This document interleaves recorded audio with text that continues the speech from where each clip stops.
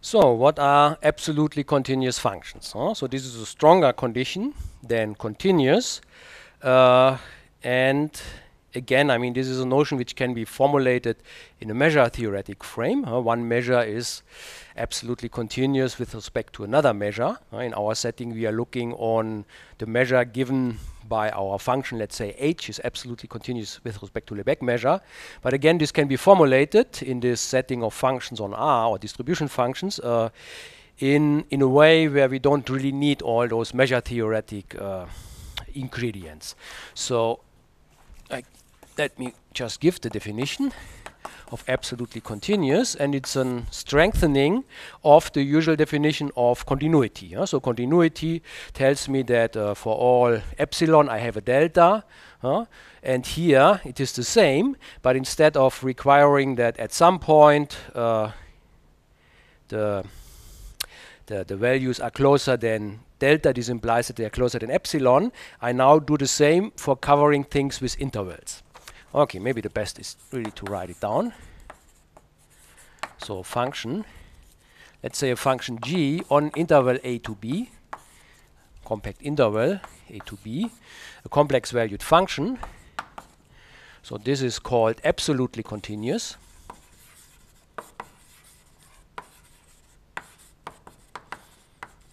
And usually I abbreviate this just by AC if the following happens yeah, so that for any epsilon bigger than 0, I find a delta uh, greater than 0. Okay, not surprising, but now what is actually uh, what implies what. So namely that the following happens. Whenever I look on intervals, let's say subintervals of my interval AB, uh, of total length less than epsilon, so not, not just looking on, on a neighborhood of one point, where something should happen, but I'm again covering many things by intervals, but by small intervals. And they should be together small. Their total length should be small. So I'm looking on intervals, let's say S1, Tn, finite number of them, up to Sn, Tn. Those should be disjoint subintervals of of my interval AB uh, with the property that this, the length of the intervals altogether is smaller than delta, such that the sum over the length of those intervals, so ti minus si, summed over all the intervals, so from i from 1 up to n, this is less than delta. And whenever this happens, then it should be true uh, that the increment of my functions g over those intervals is less than epsilon. Uh, but not, not just the increment over one interval, but over all intervals. So it's the sum of the increments. So then I require that the sum of the increment of my function g over this interval, so it's g of ti minus g of si, uh, that's the, the increment of the function g over this interval si to gi, and I'm summing all those uh, increments, this should be less than epsilon. Hmm? Yeah, okay. So in particular, if I only have one interval, then this is the definition of continuity. But here I'm asking more. Huh? I'm asking a coupling between different places. Yeah, and so let me make a few remarks. First of all, this is, of course, includes uh, continuity and it includes also in general uniform continuity which on compact sets is the same as continuity. Uh, okay, so it's it's clear uh, because here I'm not fixing a place but the epsilon and the delta doesn't depend on where I'm looking. So it's, it's this is actually if if I'm going to one subinterval this is actually a uniform continuity. So this implies uniformly continuous. But this is on our compact interval the same as continuous huh? on compact uh, sets. This is the same as continuous. Good. Okay, huh? so it's clear that this is a a priori stronger condition than continuity, but it might not be so clear whether it's really stronger. And maybe the, the, the most interesting fact in all this theory is that actually there are continuous functions uh, which are not absolutely continuous. that, that makes it interesting and gives rise to many uh, yeah, interesting mathematics. So there exists there exist continuous functions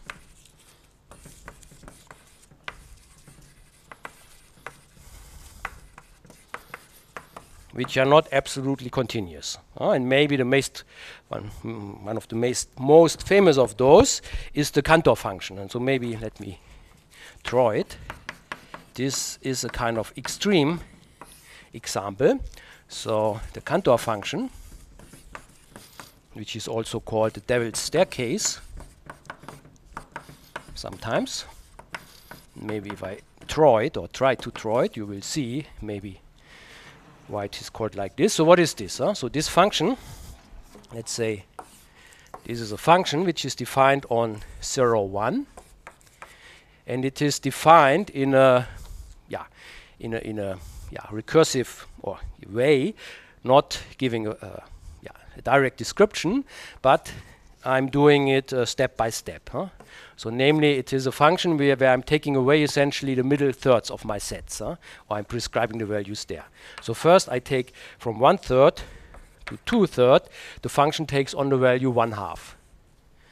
So it's a function which will be between 0 and 1. Here on this middle part, it has the value 1 half. Good. Okay, then of the remaining thirds, I'm again taking the middle part. So here I'm taking the middle third, and here I'm taking the middle third. Here I'm putting it equal to 1 over 4, and here I'm putting it equal uh, to 3 over 4. Yeah. Okay, and then again of the remaining intervals, I'm taking the middle parts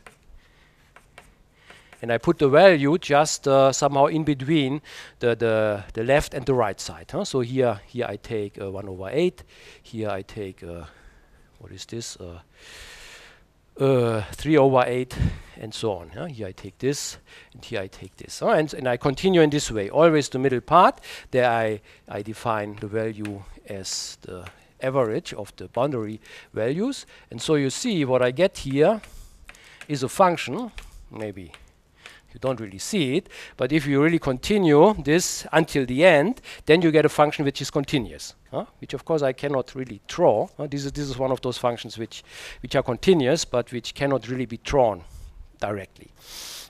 Uh, and maybe you see why this is called the, the devil's staircase. Huh? The, the stairs the steps are getting uh, shorter and shorter. Yeah, and this, in a case, is a very extreme kind of a function which is not absolutely continuous. Uh, so namely, this is what uh, this is a so-called singular function. This g is singular. So what does this mean? Uh, so this means it is of course continuous. Hmm? So it's continuous, but it's not absolutely continuous. Uh, but it's the other extreme. So namely, it is first of all non-constant. Uh, and the main point is it has a derivative almost everywhere. I'm, i told you every every uh, monotone continuous function has a derivative almost everywhere. So this function also has a derivative almost everywhere. And probably you see the value of the derivative at many places. Huh? So namely here, the derivative is 0. Huh? Here the derivative is 0, here it is 0, and so on. And actually, uh, the derivative of this function is 0 almost everywhere. Huh? So g prime is equal to 0 almost everywhere. Yeah, okay, but this means uh, this is now really a function um, where I cannot recover the function by taking the integral over the derivative, huh? because I mean the fact that the derivative is equal to zero almost everywhere means of course that if I'm integrating the derivative with respect to Lebesgue measure, let's say from 0 to t, uh, I just get 0. And this, of course, is, is very different from g of t. So, so in particular, I mean, this derivative doesn't contain any, uh, uh, this integral over the derivative doesn't contain any information about the function itself. Uh, I cannot recover the function by integrating uh, over its derivative. So, so the Lebesgue measure is not able to see where the action happens for this function. And I mean, the action happens here at a set of measure zero. okay, and this set of measure zero is, is uncountable. so in principle, uh, yeah, the set where it's, it's not differentiable is the Cantor set, which is given if you write down your numbers in the ternary system, uh, just using the digits 0, 1, and 2, then essentially things happen at the points uh, where where in this uh, ternary expansion uh, you don't have a 1. Uh, so you only use uh, 0 and 1 in the infinite expansion of your numbers. And this still is an, is an uncountable set of numbers. Yeah, okay, but so it's good to to really uh, have this example in mind to show uh, that uh, yeah, continuous functions and absolutely continuous functions, there is quite some gap and there are really examples of this kind where the fundamental theorem of calculus fails uh, drastically. Huh? So, I mean, theorem of calculus would say you that the integral over the derivative should recover the function g. But this is not, not always true. Yeah, but it is true for absolutely continuous functions. And that, that's the reason why they are so important.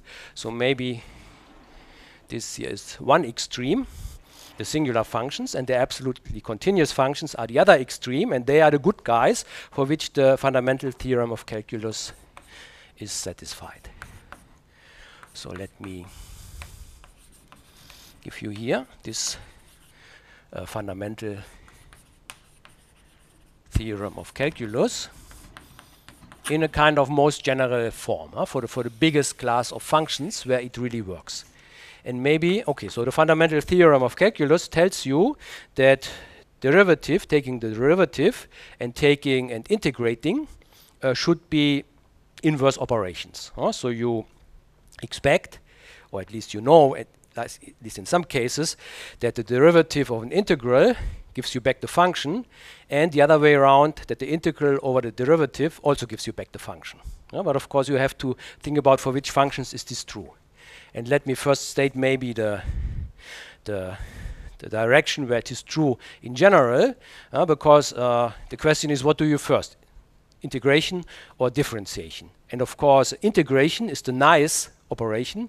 Differentiation is the critical one. Uh, differentiation is an unbounded operator, as we know, but taking the integral, this is very nice and bounded. Huh? So usually integrating functions makes them much smoother, uh, but taking the derivative, it can be very wild. So let us first look on the direction where we first integrate, and then actually we can start with any function which for which we can take the integral, and th those are just L1 functions. Uh, so f in L1 of our interval AB. We can look on the indefinite integral over this, so g of t, let's say it's the integral from a to t of my function f, fs ds. And I'm doing here, of course, integration with respect to Lebesgue measure. Huh? Yeah, okay, and then the point is now that actually what I get here is as a function of t is continuous, but even more, it's absolutely continuous. Uh, and here you see why ab absolute continuity is really the, the right notion, because it comes out automatically if I do it in this way. Uh, so, so the statement is then g is absolutely continuous, and okay, as an uh, as a continuous functions, it has a derivative almost everywhere. yeah, uh, no, as an absolutely continuous function, it has a derivative almost everywhere, and this derivative agrees with, with f. So g prime of t is equal to f of t almost everywhere. Yeah, okay, so that's somehow uh, the straightforward direction, uh, for which in principle you would not need the notion of absolute continuous. If I just would leave it out, you would, you would, you would just say that I can integrate uh, integrable functions, and then the derivative of this gives me back the function. Maybe I don't have to bother that the function g is absolutely continuous. Uh, but it shows you that this is, is the good frame. And now in particular, if you go the other way around, then it really becomes crucial. Uh, so namely, now I want first to take the derivative and then the integral and want to come back. And now the statement is now I really should start with an absolutely continuous function. So let g from a to b, from the interval ab to c, be absolutely continuous. Huh? And then g is differentiable almost everywhere. So that's something which more or less I also used in, in part 1 there. So then G is differentiable almost everywhere. And the derivative is an integrable function, so it's in L1 of AB. Uh, and now the main point is that we can recover the function g from the integral over the derivative. Huh? So we have that g of t really is equal, okay, so g of a plus the integral from a to t over g prime.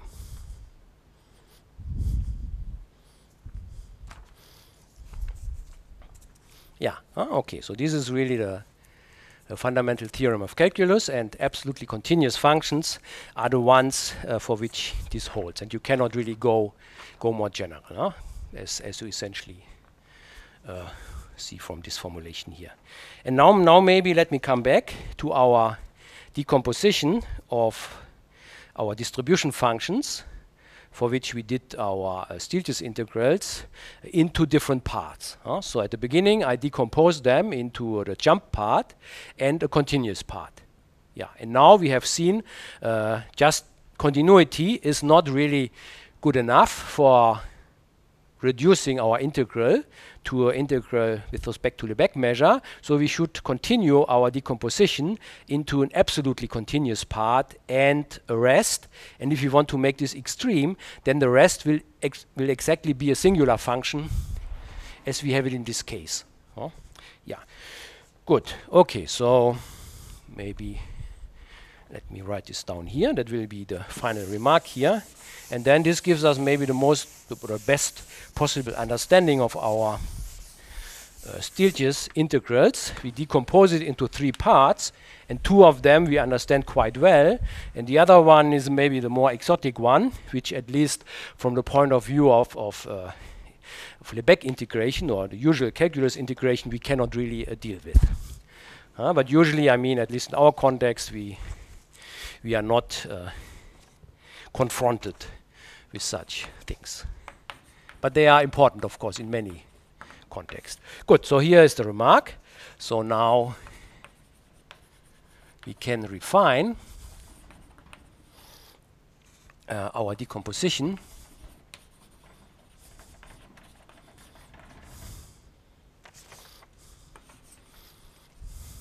from the remark before to the following.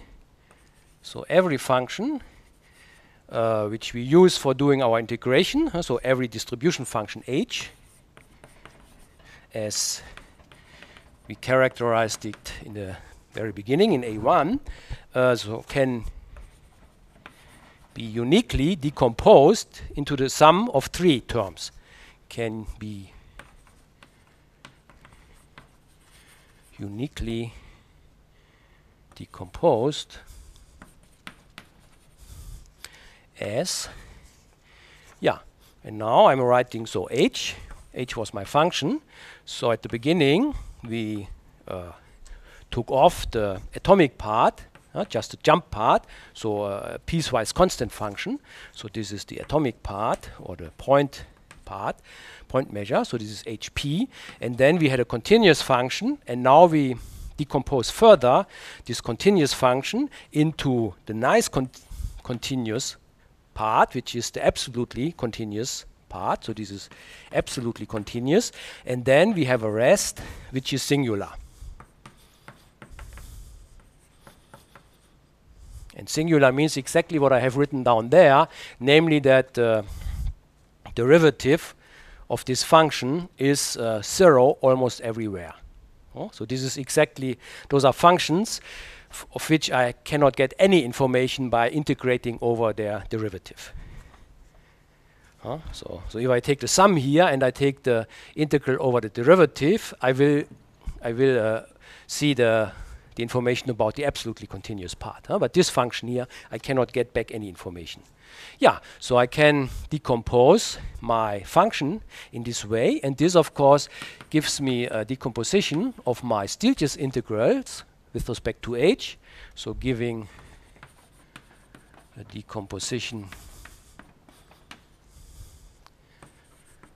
of the integral. Yeah, so namely, what do we have now? So we have, uh, uh, maybe I, I write it down here.